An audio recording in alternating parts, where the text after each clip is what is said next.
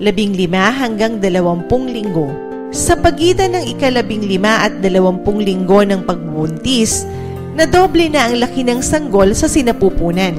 Kasabay ng kanyang paglaki ang pagdevelop ng nervous system. Ang mga ugat ang unti-unting kinokonekta ang utak sa iba't ibang bahagi ng katawan. Ang mga buto ay unti-unti na ring tumitigas. Unang tumitigas ang mga buto sa braso at hita. Sa puntong ito, ang mga kasanayang pandama o sensory skills ng sanggol gaya ng pangamoy, panlasa, pandinig, paningin at pandama ay unti-unti na ring umuunlad. Maaari na ring marinig ng sanggol ang tibok ng puso at boses ng kanyang ina at mga tunog sa kanyang paligid. Nagsisimula na ring sumipa at gumalaw ang sanggol sa sinapupunan na maaaring maramdaman ng ina o ng sino mang humawak ng kanyang tiyan.